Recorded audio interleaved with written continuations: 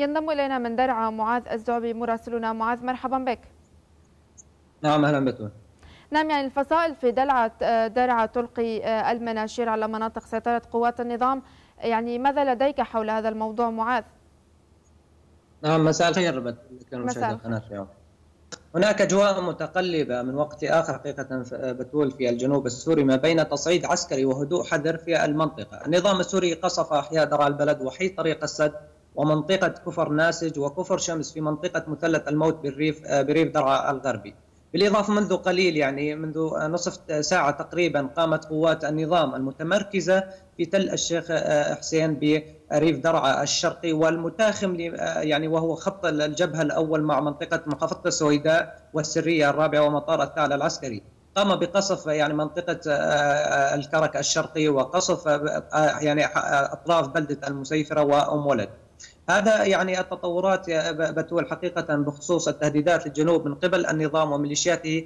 حتى يعني الآن لم نشهد يعني أي تعزيزات جديدة للنظام خلال اليومين الماضيين. يعني توقفت جميع تعزيزات النظام وأن النظام اكتفى بتقدمات وهمية على عدة جبهات ودارت يعني اشتباكات متقطعة دون أي تقدم للآخر. طبعا يعني بتول يبدو أن المشهد العسكري في درعا انقلب راسا على عقب على قوات النظام من خلال تجهيز الفصائل وتعزيز جبهاتها نعم. واستعراضات عسكرية كبيرة جدا للفصائل المعارضة بالإضافة يعني استطاعت فرق الهندسة التابعة للمعارضة وخصوصا البنيان المرصوص من إخراج مجموعة صواريخ شديدة الانفجار وأطلقوا عليها صواريخ تحت مسمى عمر وأبا يعني وأبو بكر. تجهيزا لصد أي محاولة تقدم للنظام على حي المنشية أو ربما يعني النظام يحاول التقدم على بلدة نعيمه وبصر الحرير.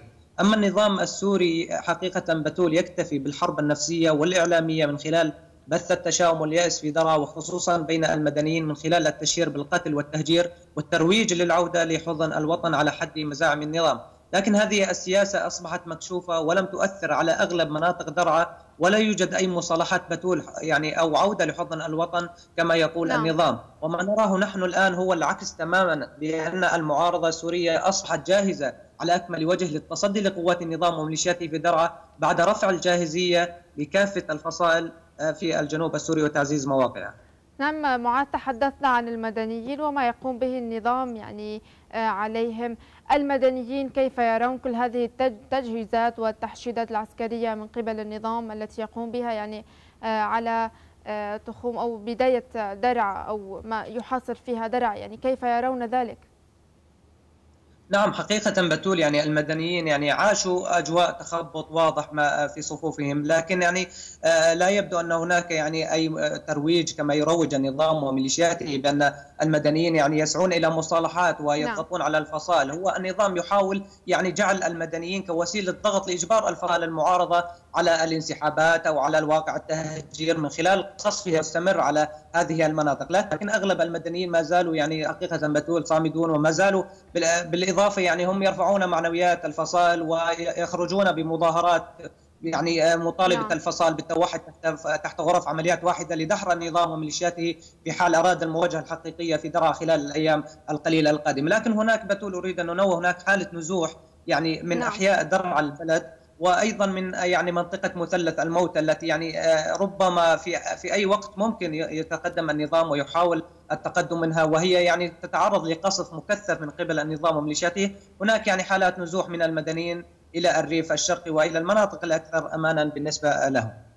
يعني معاذ عندما ألقى النظام قبيل فترة يعني مناشير تدعو فيه للمصالحة من قبل الفصائل والاستسلام يعني هل كان هناك حديث عن أن هناك بعض عناصر من الفصائل تجاوبت يعني هل هذا صحيح؟